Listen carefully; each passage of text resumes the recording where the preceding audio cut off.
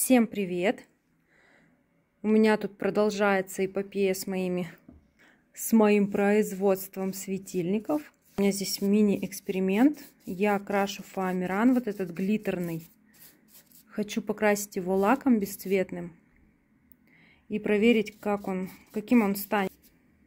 И проверить его свойства, насколько жестче он станет. Потому что я решила, что мне нужно попробовать сделать из него крылья ангела. Не, не из желтого, а серебристый. Вот, что я вам говорю. Вот, это все основы для светильников. Я их уже фоамираном обработала. И все это дело вот покрасила лаком бесцветным, чтобы эти все блестки не осыпались, потом в руках не оставались. И решила заодно вот протестить полосочку. Сейчас ее докрашу она высохнет. И проверю, насколько он будет потом поддаваться, вообще гнуться. Возможно ли будет ей придать форму, чтобы сделать крылья. Сейчас кисточку помою. Вот так сейчас выглядит моя рабочая зона. Сейчас здесь сушатся эти светильники. И потом я сделаю электрику к ним. И останется я, знаете, как этот, посмотрите, что у меня здесь творится. Это вообще как безумный какой-то. Вот они, мои заготовки. 8 штук. Осталось, это еще, конечно, не конечный вариант. Все, я надеюсь, я сегодня с ними закончу. Подключу электрику, доделаю вот эти шары.